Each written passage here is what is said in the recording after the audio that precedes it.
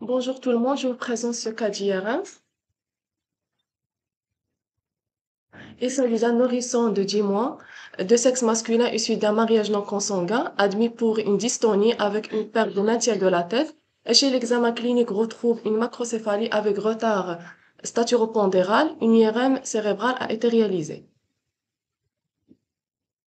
Donc, objectivons un élargissement des espaces liquidiens temporaux et des vallées sylviennes, réalisant l'aspect.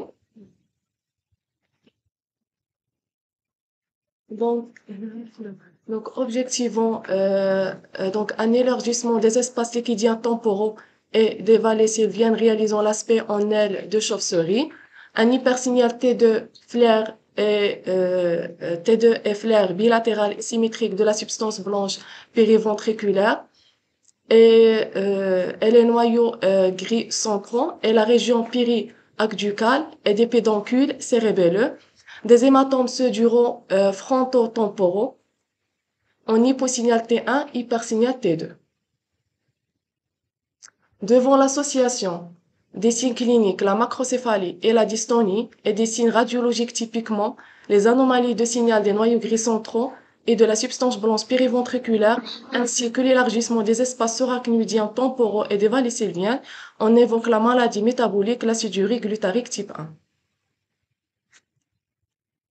Donc, c'est une maladie neurométabolique autosomique récessive liée à un trouble du métabolisme de la lysine et du, euh, du tryptophane qui touche le nourrisson et le jeune enfant, qui se manifeste dans 75% des cas dès la naissance par une macrocéphalie, hypotonie ou irritabilité et entre 3 à 36 mois de vie par un accès d'hypotonie, de dystonie, de convulsion ou de troubles de conscience.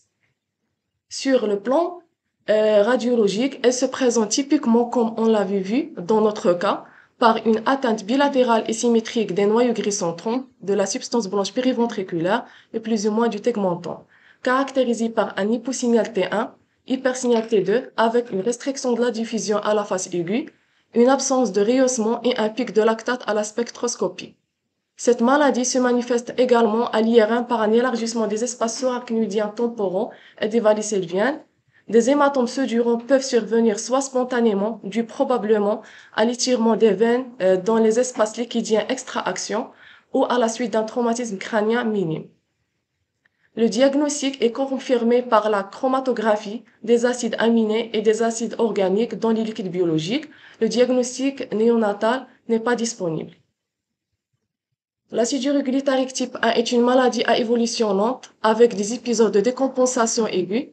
Au stade aigu, une correction de l'état euh, euh, catabolite est nécessaire. Au stade chronique, un régime pauvre en protéines avec des suppléments de carnitine et de riboflavine doit être administré L'évolution est fatale en dehors du traitement et les séquelles neurologiques sont fréquents.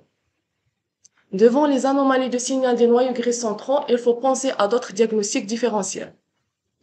Premièrement, la maladie de Wilson. C'est une maladie génétique autosomique récessive caractérisée par un trouble du métabolisme de cuivre et, euh, et se présentant par une akinésie, des tremblements et des troubles psychiatriques.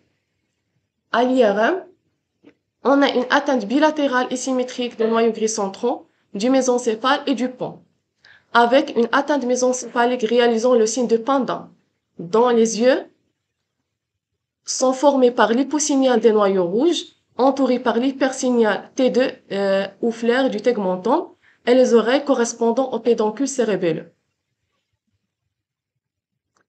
Le syndrome hémolytique et urinique est une microangiopathie thrombotique le plus souvent post-infectieuse, caractérisée par la triade biologique, anémie hémolytique, euh, thrombopénie, une insuffisance rénale aiguë. L'évolution se fait le plus souvent vers des séquelles neurologiques sous forme d'une atteinte euh, euh, d'une nécrose des noyaux gris centraux. L'aspect radiologique euh, donc est caractéristique à l'IRM, donc l'hypersignal diffusion et flair des noyaux gris centraux avec un pic de lactate euh, en spectroscopie.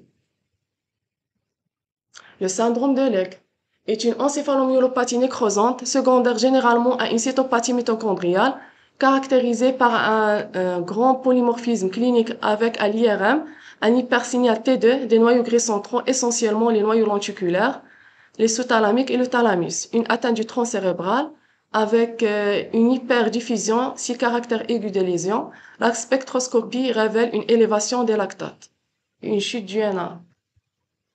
La neurodégénérescence associée à une accumulation du fer intracérébral est une atteinte autosomique récessive à début précoce, généralement avant l'âge de 6 ans, et qui se manifeste sur le plan clinique par une euh, perte progressive de la marche, avec chute secondaire à la dystonie et une rigidité. À l'IRM, l'atteinte bipaliédale est caractéristique et le signe de l'œil de tigre est évocateur, sous forme d'un hyposignal périphérique et d'un hypersignal central sur les séquences T2. L'ictère nucléaire est dû à une augmentation de la bilirubine non conjuguée traversant la barrière hématoméningée avec son dépend au niveau des noyaux gris centraux et du tronc cérébral.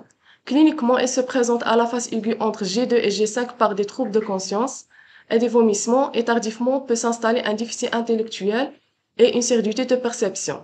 Les lésions sont localisées surtout au niveau du palidome et leur euh, signal dépend du délai de la réalisation de l'IRM on retrouve un hypersignal T1 à la phase aiguë, un hypersignal T2 à la phase chronique. La surcharge en manganèse est secondaire à un défaut d'illumination hématique ou une euh, surcharge exogène, encore une maladie métabolique. Cliniquement, elle se manifeste par un trouble de comportement, une rigidité extra-pyramidale et des crises d'épilepsie généralisées. L'aspect caractéristique en, hyper, en IRM est un hypersignal T1 bilatéral euh, des palidis avec un signal T2, normal.